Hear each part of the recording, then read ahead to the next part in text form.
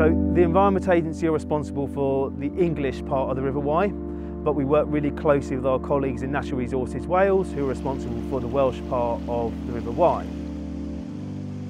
As part of a catchment partnership where all the partners come together, we work across a catchment, which basically means that we are working across the entire stretch from its source to, to, to, to the sea. We are responsible for is quite a big area. It's probably somewhere like 1900 square kilometres of, of catchment and you know a couple of thousand or more farm holdings. So it takes a lot of resource to go and visit those farms, to inspect those farms and to, you know, to work with farmers.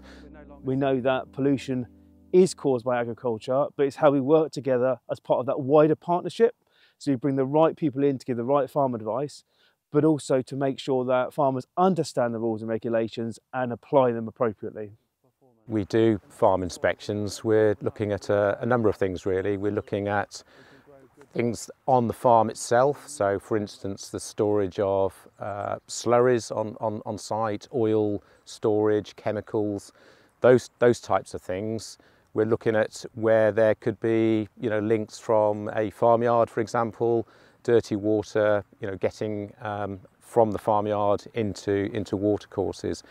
When the Environment Agency inspect farms, we actually look at nutrients as a whole because it's really important to look at the role of other nutrients within the catchment, but equally important to make sure that farmers got really good soil health and our work with them ensures that they're promoting the best practice and putting the right interventions in place. Where we see there are problems, we often take that advice and guidance led approach to support the farmer to make those steps and the right changes.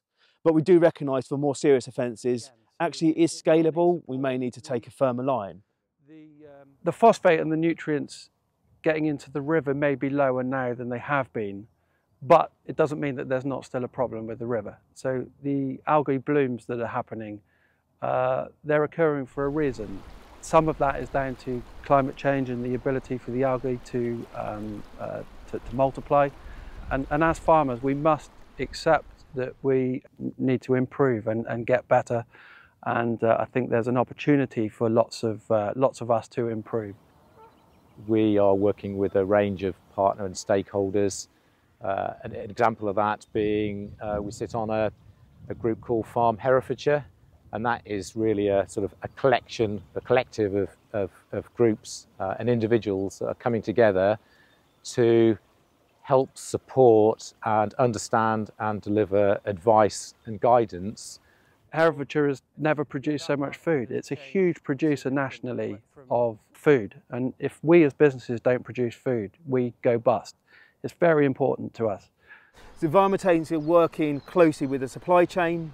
And what that means is, is we're working with the farmers who produce the foods to the supermarkets and ensuring that they've got good environmental credentials and that the supply chain take responsibility where it's required to reduce any impact on the River Wye environment what we have found really interesting is that through some of our um, facilitated groups, so we facilitate the Herefordshire Agri Group, which is a group of 30 farmers in the county.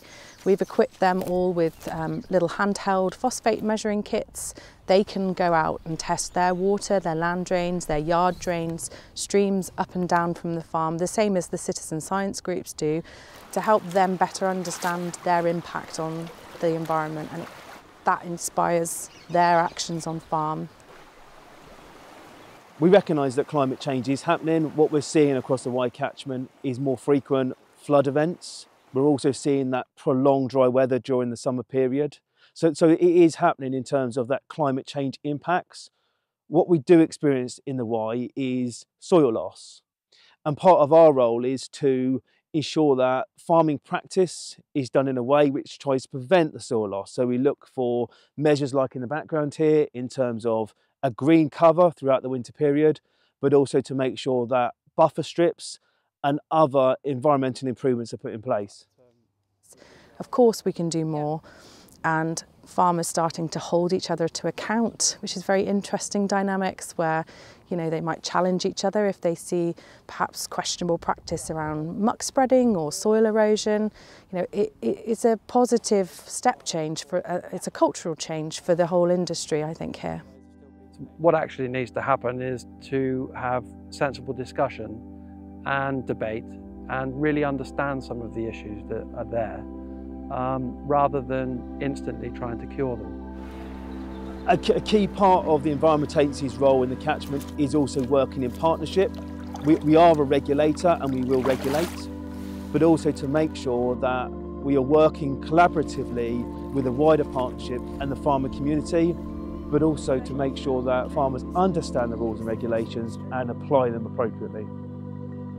The work we're doing now will lead to long-term improvements. The Wye is complex and these issues will take a long time to resolve.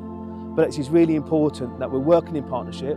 We all want the same thing, including the farming community, the community of Herefordshire and beyond, but also the wider partnership.